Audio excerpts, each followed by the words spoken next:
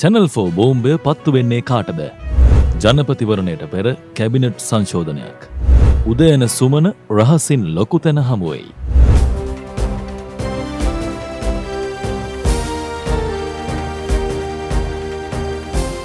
Leader දේශයට මග කියන ප්‍රවෘත්ති පෙළ ගැස්ම.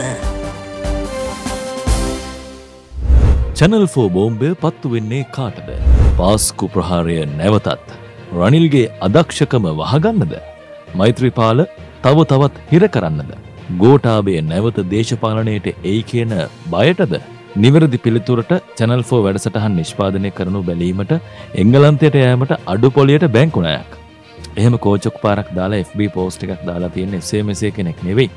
ජාතික චින්තනයේ නලින්ද සිල්වා ආචාර්යතුමා. අපි මීට සති දෙකට තුනකට ඉස්සර කිව්වා රටේ සේරම ප්‍රශ්න අමතක කරන්න පුළුවන් සයිස් එකේ හොට් හොට් ටොපික් එන්න නියමිතයි කියලා. අපි එහෙම කිවේ චැනල් ෆෝ වීඩියෝ එක ගැන. ඒක රිලීස් කරන්න තිබුණ අගෝස්තු පහළවයිත් තාක්ෂණික ප්‍රශ්නයක් කියලා වැඩේ කල් ගියා. ඔන්නාද ඒ කියන්නේ සැප්තැම්බර් පස්වෙනිදා බ්‍රිතාන්‍ය වෙලාවෙන් රෑට රිලිස් කරන්නලු යන්නේ. අපිටත් ඇහැරගෙන ඉඳන් එල්ලිවෙන ජාමට ඒක බලාගන්න පුළුවන්. ඔන්න දැංගිදල කට්ටියම ඒ වීඩියෝ එකට තමයි ඇටෙන්ෂන් දීලා තියෙන්නේ. කෙහෙලියගේ විශ්වාස භංග ගැන තියෙන උනන්දුවත් යට ගිහින්. වෙනින් දෙයක් තියා ඒෂියා ක්‍රිකට් මැච් ගැන තියෙන උනන්දුවත් නැති වෙලා. චන්ද ප්‍රතිඵල අහන්න වගේ සේරමල බලන් ඉන්නේ වීඩියෝ එකේ මොනව තියෙයිද කියලා. පාස්කුවිර්ද ත්‍රස්ත බෝම්බ ප්‍රහාරවලින් අහිංසක මිනිසු සිය ගණක් මැරුණා. තවත් සිය ගණනකගේ අතපය නැති වුණා. ඒක මේ රටේ වෙච්ච තවත් බරපතලම ඛේදවාචකයක්. යහපාලන ආණ්ඩුව බිඳ වැටෙන්නත් ඔය සීන් එක මූලික හේතුව වුණා. ඔය සිද්ධියත් එක්ක තමයි රට රකින්න කියලා ගෝඨාභය රාජපක්ෂ පොලිටික්ස් වලට එන්ට වෙන්නේ. ඔය පාස්කු සිද්ධිය ගැන හොයන්න කියලා මේ වෙනකොට පරීක්ෂණ 60 හුටාමාරක් කරලා ඇති. ඒත් මෙච්චර දවසක් වෙලා තියෙන්නේ ඝාතකයෝ කවුද හොයන එක නෙවෙයි. ඒ සිද්ධිය වළක්වා ගන්න උත්සාහ නොකළ කට්ටිය හොයන එක. සහරාන්ලා හොයලා විමර්ශන නැහැ. සේරම සිද්ධ වෙන්නේ දේශපාලන උවමනා එපාකම් මත. ඔන්න ඊයේ Channel 4 වීඩියෝ එකේ කැම්පේන් එක පටන් අරන්. එංගලන්තයේ The Times පත්තරේ කියන රාජපක්ෂලාගේ නිලධාරීන් පාස්කු ඉරිදා බෝම්බ වලට සම්බන්ධයි කියලා. ඇත්තටම මේ වීඩියෝ වෙන්වත් පාස්කු බෝම්බ සැබෑ ඝාතකයන් ගැන හරියමං අනාවරණයක් සිද්ධ වුණොත් ලොකු දෙයක්. කියලා කියලා ලංකාවේ ඇතුලේ ප්‍රශ්න විසඳන්න බැරි වුණාම කියපු ඒවම ජාත්‍යන්තර මාධ්‍යවලින් එළියට දානවා ජාත්‍යන්තරකරණය වෙනවා ප්‍රශ්නය. ඒක තමයි පාස්කු ප්‍රහාරය ගැන මේ වෙමින් පවතින්නේ. හෙට බලන්නකො ජේෂ්ඨ මාධ්‍යවේදී ඔවින්ද කුරකුළු සූරිය ඊයේ එයාගේ ෆේස්බුක් එකේ එහෙම සටහනක් දාලා තියෙනවා. බ්‍රිතාන්‍ය ද ටයිම්ස් පුවත්පත ඊයේ වාර්තා කළේ චැනල් 4 නාලිකාව විශේෂ තොරතුරු හෙළි කරන්නත් උපුටා දක්වමින් පාස්කු ඉරිදා ප්‍රහාරයට රාජපක්ෂ පවුලේ සම්බන්ධයක් ඇතැයි අනාවරණය කිරීමට සූදානම් වෙනවා කියලා. සමහරු හිතන්නේ වැඩේ පිටිපස්සේ ඉන්නේ BR කියලා. කොහොම වුණත් චැනල් 4 වීඩියෝව එන්නත් ඉස්සෙල්ලා චැනල් 4 එකේ දාපු ට්‍රේලර් එක දැකලා රාජපක්ෂවාදීන් සෑහෙන කලබල වෙලා. නලින්ද සිල්වගේ පෝස්ට් වලින් පවා කාරණේ පේනවා. ඒ විතරක් නෙමෙයි දිලිත්ගේ දෙරණ බැලුවත් ඒ තිගැස්ම හොඳාකාරවම පේන්න තියෙනවා. ඒ ට්‍රේලර් එකේ තියෙන විදිහට පාස්කු මරාගෙන මැරෙන ප්‍රහාරය ගෝඨාභය ජනාධිපති කරන රාජපක්ෂ පවුලේ කට්ටියක් බුද්ධ්‍යංශ ප්‍රධානී සුරේෂ් සලේ එක්ක කරපු කුමන්ත්‍රණයක්. ඔය කියන විදිහට ගෝඨාභයගේ තීරණාත්මක චරිතයක්. ඔන්න දවස් කීපයකට පොඩි මෙඩිකල් චෙකප් එකකට සිංගප්පූරුවට ගිය ගෝඨාභය රාජපක්ෂ ඊයර ආයත් ලංකාවට ආවා. වීඩියෝ එක පත් වෙලා ආයත් සැරයක් එන්න බැරිව හිරවේ කියලා බයද දන්නේ. කරුණායකට ආපු ගෝඨාභය පිළිගන්න ගුවන් තොටුපළේ ලොක්ක කීප දෙනෙක් ප්‍රභූ පරයන්තයට ඇවිත් ඉඳලා. ආගිය තොරතුරු කතා කර කර ඉන්න ගමන් සර් හෙට channel 4 වීඩියෝ එකක් එන්න යනවලු නේද කියලා. එතන හිටපු ලොක්කෙක් ලාවට අහලා. ගෝට කට්ටියම දිහා බලාගෙන hina වෙවි මෙහෙම කිව්වලු. මේ කට්ටියට පිස්සුනේ ඔය බෝම්බ සිද්ධිය වෙනකොට ආණ්ඩු බලයේ හිටියේ අපි නෙවෙයිනේ. මේ රටේ විපක්ෂයේ ඉන්නකොට ඔය කියන සෙල්ලම් දාන්න පුළුවන්ද? බෑනේ. ඒක ඕන කෙනෙක් දන්නවනේ. අනික ඔය සලේ ඒ වෙනකොට ආණ්ඩුව නිලධාරී 2005 පෙරදුනාට පස්සේ ඔය කියන එක නිලධාරියෙක්වත් අපිට කතා කරන්නවත් බයේ හිටියේ. දැන් බලන්න මම ජනාධිපති කාලේ පත් කරපු සමහර ඇමතිලාට කෝල් එකක් දුන්නත් ආන්සර් කරන්නේ නැහැ. මමම පත් කරපු නිලධාරීන්ට කෝල් එකක් දුන්න ගමන් කට් කරනවා. ඔය සලේ වුණත් මේ වීඩියෝ කතාව එනතුරුම අඩුම ගානේ මට නිකමට කෝල් එකක් දීලා නැහැ. හමුදාවේ හිටියට රජයේ නිලධාරීන් බයයි. ආණ්ඩුවෙන් කැපේ කියලා. දැන් ඔයා වුණත් බලන්නකො මං කෝල් කීයක් දුන්නට පස්සේ දාන්ස කරන්නේ.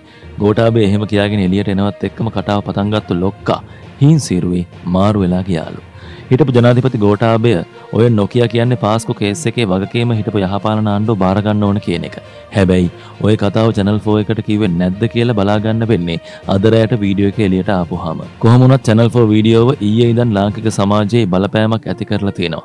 ඒකට හේතුව තමයි තවත් නොවිසඳුණු ප්‍රශ්නයක් එක්ක වේදනාවක් ඉතිරිව පැවතීම. ඒ සෙල්ලමක් නෙවෙයි. ඕනම රටක ලේ කඳුළු කියන්නේ සෙල්ලමක් නෙවෙයි. හැබැයි ගොඩක් අය මේවා එක්ක කරන්නේ දේශපාලන සෙල්ලම්. අද උදේ වෙද්දී වීඩියෝවේ ට්‍රේලර් එක වැටිලා. ඒකෙන් කියවෙනවා බලය වෙනුවෙන් මිනිස්සු මරලා තිනවා කියලා. මේ රට මිනිස්සුන්ට දරුවන්ට ඇත්තටම මේ පාලකයෝ ආදරේ නෑ කියලා. බලය වෙනුවෙන් ඕනම දෙයක් කරන්න උන්ට ලැජ්ජාවක් නෑ කියලා. ඒ තමයි සත්‍යය. එක සත්‍යයක් තමයි ලංකාවේ රංජන් සත්‍යය. දෙක තමයි බලය වෙනුවෙන් මිනීමරණක් කියන සත්‍යය. තුන තමයි මේ ඇත්ත පේවරු නෙමේ කියන සත්‍යය. ජනාධිපතිවරණයට පෙර කැබිනට් සංශෝධනයක්. ජනාධිපතිවරණයට ඉස්සෙල්ල කැබිනට් සංශෝධනයක් කරන්න ජනාධිපතිවරයාගේ අවධානය යොමු වෙලා කියලා ආණ්ඩුවට හිතවත් සමහර මාධ්‍යවල නිවුස් එකක් ප්ලාන්ට් වෙලා. පහුගියදා නව සන්ධානයේ මන්ත්‍රීවරුන් පිරිසක් හමු අවස්ථාවේ ජනාධිපතිවරයා මේ සම්බන්ධයෙන් අදහස් දක්වා තිබුණලු. නව සන්ධානයේ කණ්ඩායම් නායක අනුරයාපා ඇතුළු පිරිසක් මේ සඳහා එක්ව තිබෙනවා කියලයි ඒෂියන් මිර වාර්තා කරලා තියෙන්නේ. ඔය කීවට මොකද රනිල් ලොක්ක ජනාධිපතිවරණෙත් කල්දායිද කියලා විපක්ෂ උදවියට ලොකු සැකයක් ඇවිත්. ජනාධිපති වික්‍රමසිංහ ඡන්දයකට කිසිම සූදානමක් නැති නිසායි එහෙම කතාවක් පත්තු වෙලා තියෙන්නේ. නිදහස් ජනතා සභාවේ ඊයේ තිබුණ මාධ්‍ය හමුවකදීත් ජී.එල් ලොක්ක ඔය ගැන කතා කෙරුවා. එහිදී අදහස් දැක්වූ මහාචාර්ය ජී.එල් පීරිස් ආණ්ඩුව නොයෙක් ව්‍යාජ හේතු සාධක යොදා ගැනීමෙන් පළාත් පාලන සහ පළාත් සභා මැතිවරණ කල් දැමුවත් ජනාධිපතිවරණය කල් දැමෙන්න නොහැකි බව කිව්වා. ව්‍යවස්ථා විශාරදයෙක් වෙච්ච ජීල් කියන්නේ ජනාධිපතිවරණය කල් දැමීමට ජනමත විචාරණයකින් කළ නොහැකි කියලා. අනිවාර්යයෙන්ම ලබන වසර ජනාධිපතිවරණය රජයට කැමැත්තෙන් හෝ අකමැත්තෙන් පැවැත්වීමට සිදුවන බවත් ලබන වසරේ නොවැම්බර් මාසයේ අභිනව ජනාධිපතිවරයා දිවුරුම් දීම සිදුවිය යුතු බවත් ජීඑල් කියනවා. දැන් නිදහසේ සමහරු කියන ජීල් සජිත්ගේ මාධ්‍ය ප්‍රකාශක වෙලා කියලා. මොකද සජිත්ත කියාගන්න බැරි සමහර දේවල් දැන් ජීල් ලව කියවන්න පටන් අරල්ලු. ඒ කතාවල ඇත්තබරු ඉස්සරහට බලාගන්න පුළුවන්. උදයන සුමන රහසින් ලොකු තැන හමුවේ. මැති සබී ස්වාධීන වනාය කියන හිටපු රාජ්‍ය මට්ටමේ ඇමති කෙනෙකුයි මන්ත්‍රී සයිස් මහත්තයකොයි. පහුගේ දවසක රහසින් ගිහිල ලරේ ලොකු මහත්තය හම්බුණාලු. මෙයින් රාජ්‍ය මට්ටමේ ඇමතිතුමා නියෝජනය කරන රජරට පලාද. මන්ත්‍රී සයිස් මහත්තයයිනි උඩරටින්. මේ දෙන්නගේ එකතුවට සමහරු කියන්නේ උදයන සුමන සුසංයෝගය කියලා.